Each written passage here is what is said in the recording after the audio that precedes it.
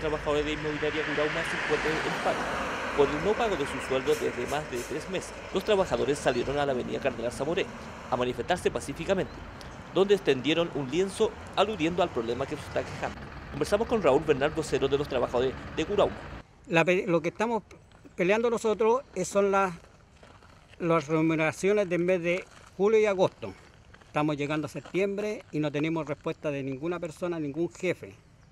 La gente ha ido a Santiago y no ha encontrado a nadie, una secretaria nomás. Y la inspección de trabajo ya los conocen ya, se han hecho todos los reclamos habido por haber.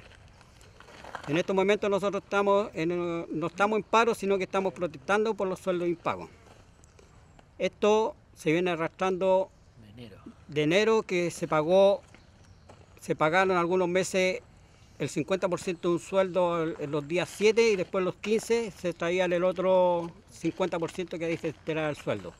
Ya en estos momentos no se, no se puede recurrir a nadie porque no hay ninguna cabeza visible de la inmobiliaria de Curauma. El, problema es que todo esto se genera en, gasto para, para, muchos trabajadores que dependemos de un sueldo y no, no tenemos ninguna ninguna respuesta de nadie. Ya cada sueldo va, asciende ya casi al millón de pesos. En estos momentos son, son dos meses, el tercer mes ya sería un millón de pesos por cada persona que trabaja aquí, algunos un poquito más, otros un poquito menos. Pero es arriba de un millón de pesos que son tres meses. Y las cotizaciones, por lo menos hay algunos trabajadores que tienen 60 meses que están declaradas y otras impagas.